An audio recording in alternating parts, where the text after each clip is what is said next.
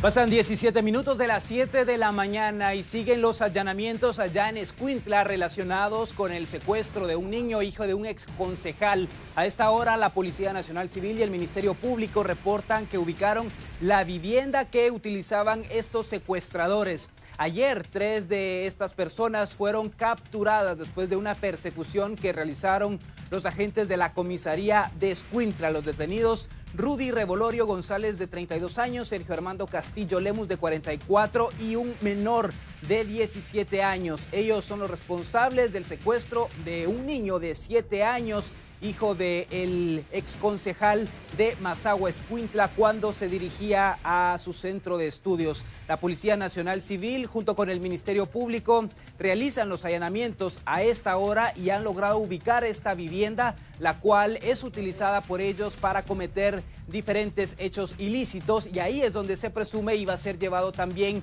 este niño de 7 años que afortunadamente no logró ser llevado por estos tres sujetos que fueron capturados por las fuerzas de seguridad.